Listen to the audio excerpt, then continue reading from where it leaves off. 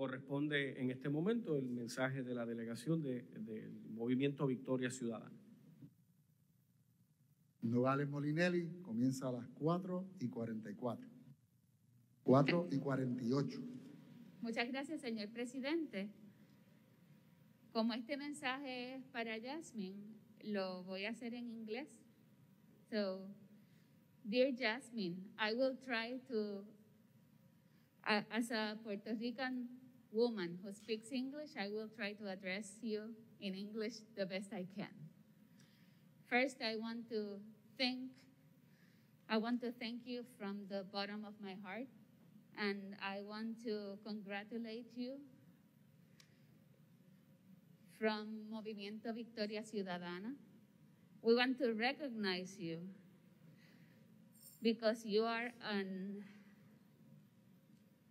Afro Puerto Rican woman who represents many Afro Puerto Rican women who have not had the opportunity that you have had.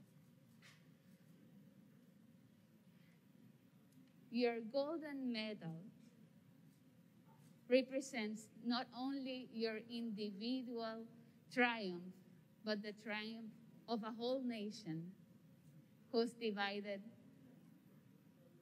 between countries. Your triumph represents the Puerto Rico that we live in the 21st century, where Puerto Ricans are spread all over the world. And your triumph has brought us joy in times where we are facing extreme difficulties because our country has been deeply, deeply devastated, not only by natural disasters, but also very devastated by a fiscal control board and Promesa Act.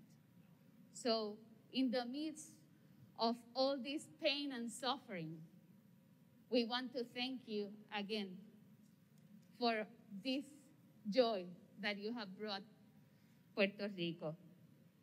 Tu país te recibe, tu patria te reconoce, reconoce tu triunfo.